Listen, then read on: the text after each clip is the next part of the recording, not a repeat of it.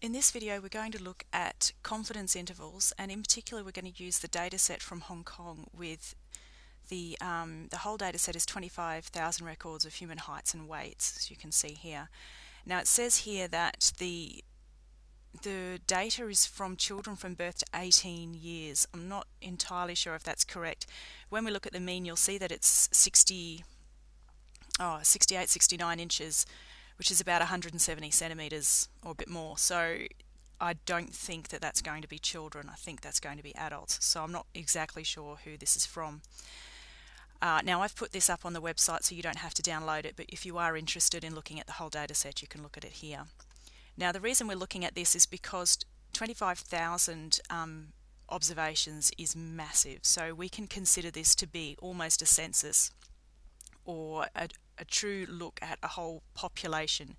And we're going to see what happens when we take samples and look at confidence intervals. So if I go into SPSS now, you'll see that what I've got here is not the whole data set. I'm going to pretend that we have taken 10 samples of heights and weights from this data set and each sample is going to contain 100 individuals or 100 observations. So it just goes down to 100 there and you can see in the variable view that I've got height 1, weight 1 for the first sample, height 2, weight 2 for the second sample, etc. So in practice it's unlike, unlikely that you would ever get 10 such large samples um, that would you would usually just do the experiment once, so you would just have the first two columns. But we're going to see what happens when you do take repeated samples from a population to help explain the concept of, of error in sampling and what the confidence interval actually means. So if we want to take a, a look at the data first, uh, if we go into charts, we can do just a scatter plot just to have a, a look at what we've got here. So I'm going to do height versus weight. It's taken out my height. Hold on. Height. Okay. So we've got height in inches, weight in pounds, and you can see that as people get taller, on average, they get heavier, which is probably what we would expect. Now, if we were after a confidence interval around the mean for these, so we wanted to know what the average height was and what the average weight was, we can do that through the Analyze menu, and we'll go here, um, Descriptive Stats, down to Explore, and I've got a whole lot in here so I'll just take all these out and I'll put height and weight back in. So if you click on the statistics tab it'll tell you that it'll give you the descriptives and it can give you a confidence interval for the mean. Now you can calculate confidence intervals by hand and it's not um, too lengthy a process, you can find the formula in a textbook if you're interested. Otherwise, I'm happy for the just to let the computer do it for you. So continue. Okay.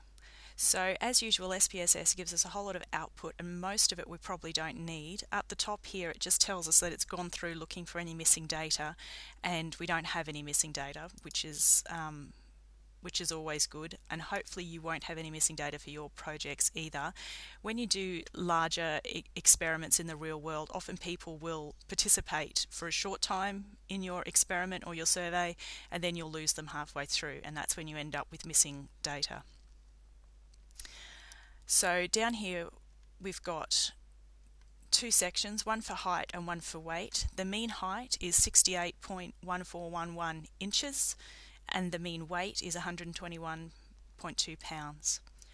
So this mean height is the mean that's been calculated from this sample and every time we take a sample from the population we're going to get a slightly different estimate of the mean. And one way of knowing how accurately we're estimating the mean is this idea of putting a confidence interval around it. And this is saying that we can be 95% confident that we have covered the true mean with our sample. So our 95% confidence interval goes from 67.7 to 68.5 and this is a fairly tight confidence interval it's fairly narrow and that's because we've got a nice big sample of 100 people if we take a different sample we'll get a slightly different mean and a slightly different confidence interval. Now we can go through and do this all just with the numbers, but actually it's probably a little bit easier if we do it on a plot so that we can see it. So there's a graph here. If we go into Chart Builder, now go to bar. I don't know why it's under this menu. It'd probably make more sense to put it somewhere else, but this is where it is. And what I'm after is this chart here that's got the circles with the lines around it. And this is going to plot means for us with a confidence interval around them. So let's drag that up. Let's take out the weight because I don't want that. Now we've got the mean of height 1, but let's say we've done repeated samples and let's just do it look at the heights and I'm going to drag the other heights in here so we can look at several samples altogether.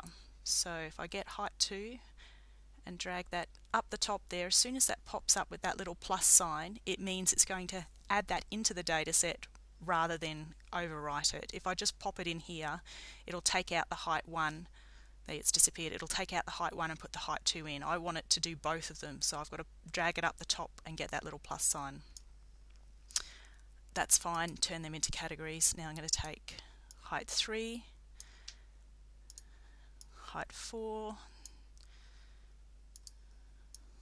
height 5,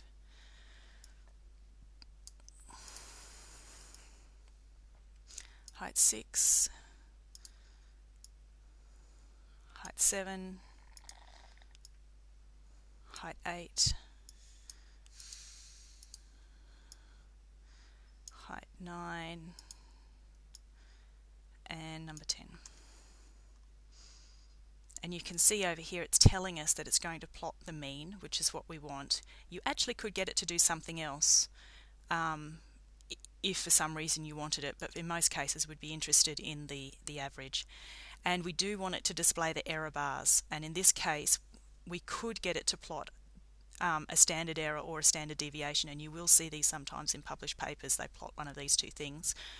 Um, let's for the moment just look at the confidence intervals because I think this gives us the best picture of what's going on and we want to do the, we'll just do the 95% confidence intervals. These are often taken as standard, but we could do a different level of confidence. We could be 98% confident, 99% confident, or maybe even just 90% confident. Uh, oh, I haven't changed anything. I didn't need to press apply, but okay. So what we have here is the mean and the confidence interval around that mean for all these heights. Now it's a little bit hard to see because it's actually plotted it all from zero, which is not particularly useful. So if we double click on the y-axis and double click again there, we can change the scale. So take out the auto and let's take that right up to, let's try 67. Okay, now that looks much better. We can see what's going on there. I'll close that. Now, what we're interested in, because these are all samples from a population. And in this case, because we happen to have this huge data set, we can look at what the true population mean is. We might want to draw that on as a reference line. A reference line is just a line that you use to compare other values to. So if I click on this uh, symbol here where it's got a horizontal line, and click that, it says it'll give me a reference line. Now if the true population better just check what it is. The So the true population value is about 78 inches, so I'll leave that there. And it's already put that in, close, close. So what you can see here is that every time we take a sample from the population, we're going to get a slightly different sample mean. Uh, and so because the sample mean is different, the confidence interval is also slightly different. But 95% of the time, if we're using 95% confidence intervals, this interval will cover the true mean. And you can see in this case that actually all of ours cover the true mean. This one nearly misses it. If we did this 100 times, as in we took 100 different samples, we would expect five of them wouldn't cover the true mean, and this is just due to random variation, and that's what a 95% confidence interval means. The difficulty is, is that usually you only get to take one sample from a population, and usually you don't know what the true population mean is, otherwise you wouldn't be taking a sample. And so you don't actually know whether you've covered the true mean or not, but you just know that 95% of the time you will have covered it, and so you operate on the basis that you've got a fairly good you've got a fairly good estimate there. Even when you haven't quite covered it, you're probably fairly close if you've got a reasonable sample. Now we can look what happens if we have um, a slightly smaller sample, as in what if we didn't have the facility to measure 100 people? What if we could only measure 20 people? Would it still be a good estimate of the population uh, mean? So we can go into our data and we can actually just mess around with it a little bit. So say for heights 10 and height 10 and weight 10, we're only looking at the heights, but we'll do it for both of them. Let's actually delete some of our data. So let's go to 51. and you can just press delete and then for height and weight 9 let's just have a much smaller sample of 20 and see what happens so I'm just going to select 80 of those observations and delete them so you can see now instead of having 100 observations for group 9 I've now only got 20 and for group 10 I've got 50. If we go back to the graphs and the chart builder we're just going to plot exactly the same thing again it's just the numbers would have changed.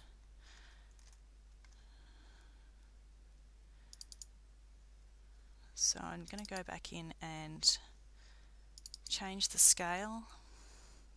I clicked on the wrong thing there. scale 66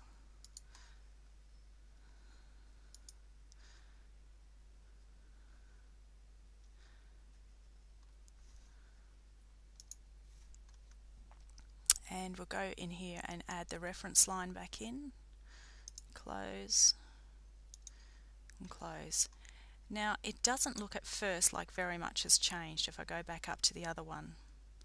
You can see here everything else should be the same. We only mucked around with height, the sample 9 and sample 10. So this is what sample 9 and sample 10 looked like before. And now we can see that sample 9, the average is about the same, but the confidence interval is much, much wider. And a, a wider confidence interval means that we are less sure of the the estimate. We are less sure that this is a good estimate of the true population value. So the confidence interval has to be wider in order to try and cover the true value. Now in here the the actual the the estimate seems to have changed quite a lot by deleting half of those values. So the sample 10 has changed from being below the mean to being above the mean, the true population mean. But you can see that the confidence interval still covers it. So it's just showing us, it's just illustrating that the mean we estimate from our sample is going to vary depending on how big and how good our sample is. And we're hoping that it will cover the true population mean, even that we don't know what it is. And the confidence interval gives us some kind of indication of where this true population mean might lie, hopefully somewhere within our confidence interval. Now the last thing that we can look at quickly is just seeing if we want to be more or less sure of our confidence interval. So in this case,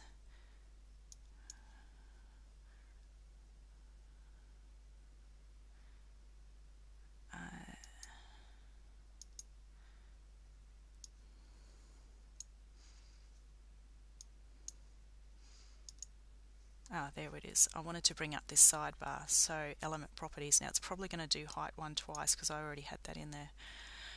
So if you lose your sidebar, that's the element properties and you just need to click on this to get it back. Now at the moment we are only 95% sure that we've that we're covering the true population mean. The question is what if we want to be really really sure of where our population mean is? We might want we want to be more and more confident that we've got the right value. So if we want to be 99% confident that we've got the right value, we can change our level of confidence up to 99%. So this is like being, it's as if we want to be much stricter with our confidence interval. Now if I just muck around with this scale again, 67.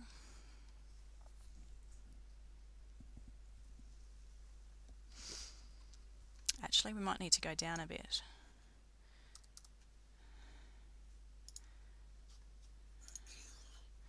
And draw our reference line in. Let's change that to 67.5. We'll change that back up to 68. Close.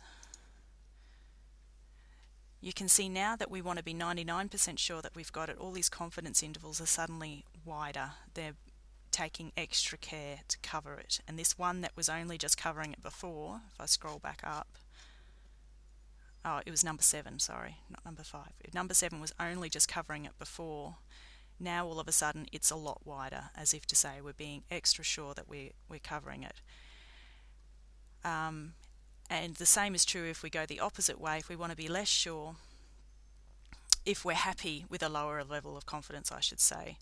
If for some reason just being 80% confident was good enough. Okay. And again, let's change that.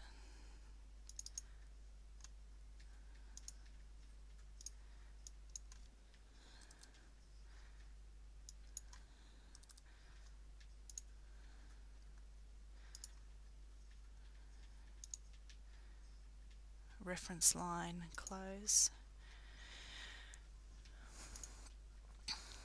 Now we've actually got one that only just makes it here.